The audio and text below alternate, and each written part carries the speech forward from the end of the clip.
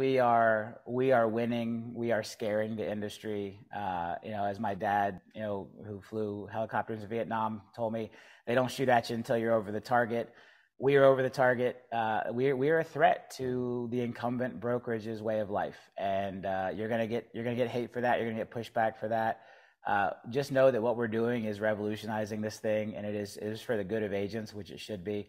And as we bring costs down and bring more tools to the market, we're we're ruffling feathers and we're changing the game. And you know, I uh, I love each and every one of you. I appreciate you being on this ride with us. Know that it's going to get bumpy. You know, you're going to take some heat from other people. We're seeing the heat turn up in Texas in some crazy ways from competitors.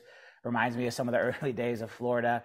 Uh, know that the arc will, will surpass it. You know, the bigger we get uh, in a market, the the less noise there is because we we start to be too big uh, for people to treat us that way. But early on, there is there's a lot of attempt to kind of shut us down. We've seen that come from vendors. We've seen it come from other agents, other brokerages, and you know, LPT is here to stay, and we're here to win.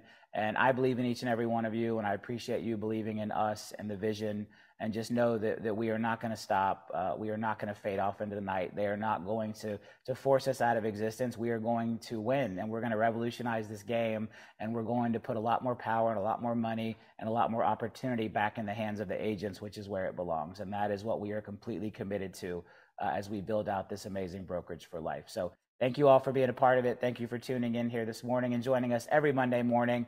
Uh, Florida agents, y'all need to kick it up. It looks like Texas is is, is on a roll right oh, now, and we, we, we need to kick it up a little bit in Florida. Uh, but other than that, guys, let's let's keep growing together. Let's keep winning together.